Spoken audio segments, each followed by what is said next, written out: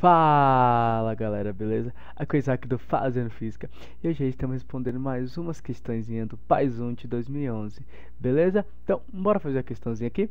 Uh, considerando que o sistema de navegação de navios utilize informações de um satélite geoestacionário, palavra bem importante, julgue os itens seguintes, assumindo que o período lunar é igual a 27 dias. Então, a partir disso, galera, bora responder essas duas questãozinhas. Questão 64. O raio da órbita geoestacionário é 12,4 do raio da órbita lunar? Então bora ver se isso é correto. A gente quer saber se o raio da órbita do satélite geoestacionário é 12,4% da órbita lunar. Então o que, a gente quer dizer? Quer dizer que a razão entre o raio do satélite sobre o raio do satélite lunar tem que ser igual a, a 12,4%. Então tá bom. Bora ver se isso é verdade, galera. Bora, primeiramente, esquematizar a nossa situação. Uh, então tá. A gente sabe que tanto o satélite, tanto a Lua, elas vão estar em órbita da nossa Terra. Então bora fazer um círculo aqui e chamar esse círculo de Terra. Beleza? Então aqui vai ser a nossa Terra. Beleza. Então tá. Uh, primeiramente, eu vim aqui em uma distância e fazer o meu satélite. Esse ponto aqui é o nosso satélite. Bora olhar aqui legal. Nosso satélite é geoestacionário. O que quer dizer um satélite geoestacionário? Primeiramente, ele está a distância da Terra, que eu vou chamar de RS, que vai ser a, o raio da órbita do satélite. E um satélite geoestacionário, ele é fixado em um ponto, ou seja, nesse ponto aqui. Beleza? Então, ele não sai desse ponto? Não sai desse ponto na nossa Terra. Exemplo, o satélite geoestacionário na Amazônia. Ele fica em cima da Amazônia. Ele não vai sair da Amazônia, ok? Então, fixado em um ponto na Terra. Beleza nessa parte. Olha que legal. A gente sabe que ele vai ter uma distância RS da nossa Terra, uma distância de órbita. E qual vai ser o período, o tempo necessário para ele completar uma órbita completa? Ele não está fixo no ponto da Terra? Concorda comigo? Então, logo, ele não vai caminhar junto com a Terra, ou seja, se a Terra dá 10 voltas, logo o satélite vai ter que dar 10 voltas, porque ele tem que ficar fixo nesse ponto. Logo, a Terra demora um dia completo para um dia para dar uma volta completa no seu próprio eixo. Logo, o satélite vai demorar quanto? Um dia para dar uma volta completa. Logo, o período do nosso uh, satélite vai ser de um dia. Beleza? É interessante isso. E a gente vai ver o porquê. Tá, agora bora esquematizar aqui a nossa Lua. A Lua, vou deixar ela um pouquinho aqui. Nossa Lua um pouquinho menor. Beleza? Desse tamanhozinho. Colocar aqui L de Lua. L de Lua. A gente sabe que essa Lua está também a uma distância da Terra. Vai fazer essa distância aqui melhor. Uh, uma distância assim da Terra, beleza? Essa distância eu vou chamar de RL, que é a distância da órbita lunar, beleza? E de acordo com o texto, a gente sabe que o período lunar é de 27 dias. Tá bom. Para que isso é importante, Isaac? Bem simples. De acordo com a lei de Kepler, a gente tem a lei das órbitas, onde uh, o período ao quadrado sobre o raio ao cubo é igual a uma constante. O que, que isso quer dizer, Isaac? Igual a uma constante. Quer dizer bem simples. Se a gente pegar o período ao quadrado e dividir pelo raio ou distância uh, de satélites, de, uh, de planetas que estão no mesmo sistema, vai ser idênticas. Ou seja, se eu pegar exemplo Mercúrio e Urano na distância do Sol, se a gente pegar o período deles e dividir uh, pelo raio, lembrando que um está ao quadrado e outro ao cubo, vai ser idêntico. E o mesmo ocorre aqui no nosso satélite Lua. Sabendo disso, então quer dizer que o período hum, o período lunar ao quadrado é igual ao raio da órbita lunar ao cubo, que é igual o período do satélite ao quadrado ao dividido pelo raio do satélite ao cubo. Beleza? Dessa forma, bora fazer os cálculos. A gente não quer achar RS sobre RL, então bora pegar esse RS que está dividindo e passar para o outro lado multiplicando. Logo a gente vai ter o que? RS ao cubo vezes TL ao quadrado sobre RL ao cubo, que é igual a opa, sobre TS ao quadrado. Agora, pegar o TL ao quadrado que está multiplicando, passar para o outro lado dividindo. Portanto, o que a gente tem? RS ao cubo é igual a RL ao cubo, que é igual a TS ao quadrado uh, sobre TL ao cubo. Ok nessa parte? Olha o que a gente pode fazer. Vou puxar aqui para baixo, primeiramente, para a gente ter mais espaço. A gente não tem RS é o cubo e RL é o cubo, a gente pode deixar ambos dentro de um cubo só, ou seja, colocar RS sobre RL, tudo ao cubo, ok? O mesmo acontece no período, ambos não estão ao quadrado. Então, logo a gente pode pegar TS sobre TL e tudo isso ao quadrado. Isso vai ajudar a gente a facilitar em algumas contas. Beleza, bora prosseguir aqui. Ah, tá. Que, que, a gente tem agora? A gente tem os períodos da, do satélite, que a gente sabe que vale 1, e o período da Lua, que a gente sabe que vale uh, 27. Portanto, a gente vai ter que RS sobre RL ao cubo, a gente vai ter 1 sobre 27 uh, ao quadrado. Ok nessa parte, galera? Tá bom. Uh, bora prosseguir mais ainda. Agora, galera, a gente vai fazer o pulo do gato. Qual é o pulo do gato? O 27. Olha aqui pra cima. 27, galera, é a mesma coisa que 3 elevado a 3. 3 elevado a 3 é 27. Beleza? Então, bora deixar assim.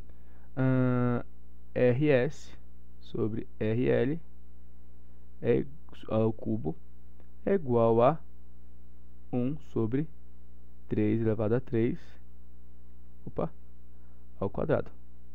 Dessa forma, o que a gente pode ter mais, galera? Podemos fazer desse jeito. Uh, o quadrado vai tanto no 1, que 1 ao quadrado é 1, e o quadrado também vai no 3 elevado a 3.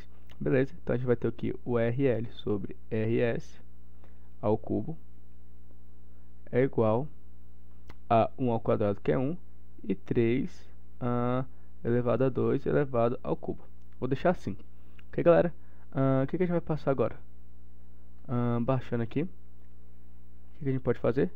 Passar aqui para baixo. Novamente.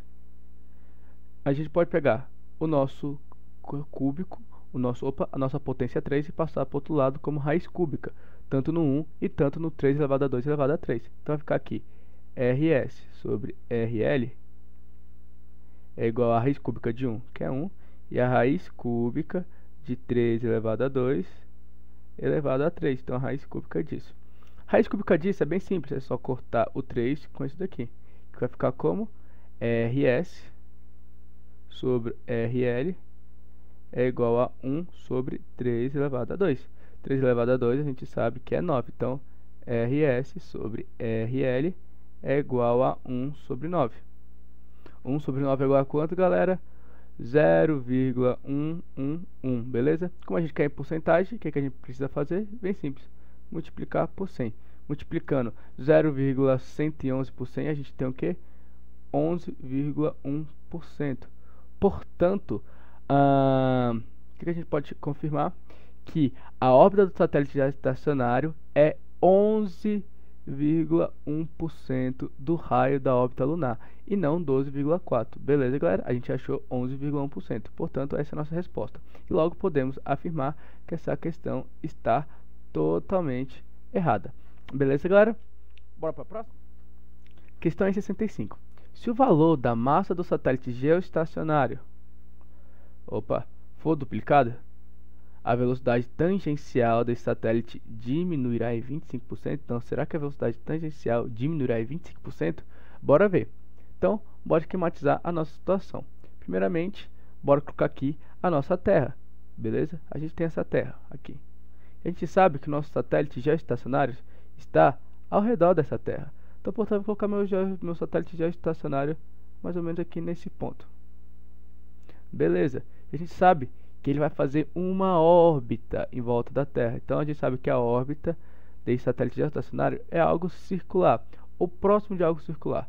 Então bora considerar que ela é circular. Vou pegar aqui um satélite perto mais ou menos assim. Então a órbita dele seria algo mais ou menos assim, beleza? E a gente sabe, galera, outro fator importante sobre essa órbita, sobre isso, que ele está a uma certa distância da nossa Terra, aqui de Terra, uma certa distância que eu vou chamar de R, só, só de R. E outra coisa, para ele estar em órbita da Terra, a gente precisa de dois fatores principalmente. A gente sabe que ele vai precisar estar com uma velocidade tangencial, que eu vou chamar de v, ok? E outra coisa importante, ele precisa ser puxado por uma força para ele estar nessa órbita. E qual é o nome dessa força? Bem simples, força gravitacional. Essa força gravitacional é a força que faz o nosso corpo estar em órbita. Beleza, galera? Então a força gravitacional que faz ele fazer esse movimento circular está em órbita da nossa Terra. Beleza nessa parte? Então tá bom, bora prosseguir. A gente sabe que a nossa massa vai ser duplicada, ou seja, a massa do satélite era m e agora ela vai ser 2m.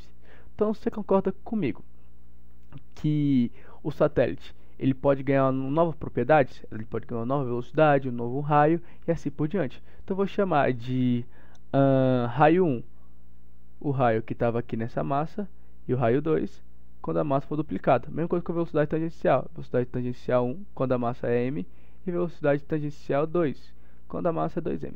Beleza nessa parte? Então tá, bora prosseguir. Um fator importante, nosso satélite é algo geoestacionário, portanto ele vai ter que ser fixado nesse ponto. Beleza, então quando a gente dobrar a massa, tem que acontecer a mesma coisa? Sim, tem que ter, tem que acontecer a mesma coisa. Ele tem que continuar fixado nesse mesmo ponto para ser um satélite geoestacionário. E essa característica é legal. Para ele continuar fixado nesse ponto, a força gravitacional que acontece na primeira parte, vamos colocar um aqui mais bonitinho, que acontece na primeira parte, tem que ser igual à força gravitacional que acontece na segunda parte. Beleza, galera? Então, a força gravitacional quando a massa é m tem que ser igual à força gravitacional quando a força é 2m. Beleza nesse ponto? Então tá bom. Como a gente calcula a nossa força gravitacional, galera? Bem simples. A força gravitacional a gente calcula como a massa maior vezes a massa menor multiplicado pela constante gravitacional vezes o quadrado da distância que eles estão. Então R ao quadrado, beleza? Bora colocar aqui. Na primeira etapa, a gente tem a massa maior, que é a massa maior, massa da Terra vezes a massa menor, que é m, a massa do nosso satélite, vezes a constante gravitacional, vezes a distância que eles estão, ao quadrado. Então, R1 ao quadrado. Ok? Bora aqui na segunda parte, a massa maior, massa maior da Terra, e a massa menor que é do satélite. Agora é 2m, beleza? Constante gravitacional continua como uma constante, e a distância agora vai ser R2 ao quadrado. Beleza? Bora cortar o que dá para cortar. Podemos cortar m com m, beleza? mzão com mzão, mzinho com mzinho. Ainda podemos cortar os quadrados, beleza? Ainda podemos cortar o G, ok? E o que sobra vai ser então uh, 1 sobre R1 e 2 sobre R2. Passando o R2 multiplicando, temos R2 e passando agora o R1 multiplicando, vão ter 2R1. Interessante, o raio irá dobrar. E o que, é que vai acontecer com a nossa velocidade? Beleza, bora ver o que vai acontecer com a nossa velocidade tangencial. Olha o que acontece. Velocidade tangencial, galera, tem um cálculo bem divertido, que velocidade tangencial é igual a velocidade angular vezes o raio. Bora rolar o nosso raio? Passando a velocidade angular dividindo, portanto, o raio é igual a velocidade uh, tangencial vezes a velocidade angular. Tá, beleza. O que, que seria a velocidade angular? A velocidade angular seria a velocidade necessária para a gente formar um ângulo por tempo. Beleza? Exemplo, uh, a cada um segundo ele anda 2 pi radiano. Então a nossa velocidade angular. Tá, você concorda comigo? Quando ele vai ter tanto a massa maior ou tanto a massa menor, ele não vai sair desse ponto. E, portanto, ele vai seguir a Terra. Logo, a velocidade angular deles também vai ser idêntica. Ou seja, a velocidade angular no caso 1 é igual à velocidade angular no caso 2. Então, não muda a velocidade angular? Não muda pois como ele está fixado no mesmo ponto, então ele pode ter uma massa maior, uma massa menor, dobrar o raio, diminuir o raio, já que ele vai estar tá fixado no mesmo ponto, ele vai ter a mesma velocidade angular nos dois casos. Então, portanto, bora colocar só como W ou como ômega a nossa velocidade angular. Então, no caso 2, a gente vai ter o quê? Uma velocidade 2 dividido por velocidade angular. E no caso 1, um, a gente vai ter duas vezes a velocidade angular 1 dividido por a velocidade angular. Cortando a velocidade angular com a velocidade angular, a gente tem que a velocidade 2 é igual ao dobro da velocidade 1. Ou seja, tem que a gente teve um aumento, beleza? Aumentou a nossa velocidade, aumentou o dobro, duplicou a velocidade. Então, aumentou. Beleza? E ele falou o quê? Que diminuiu, galera. A nossa velocidade diminuirá? Não, a nossa velocidade aumentará. Portanto, podemos cortar aqui e afirmar que essa questão está totalmente errada. Beleza, galera? Então, chega lá no cada resposta e marca a opçãozinha errada nessa questão.